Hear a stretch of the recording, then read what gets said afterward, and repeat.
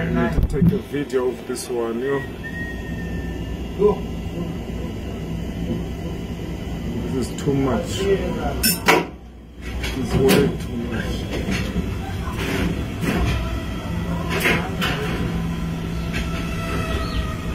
This is way too much.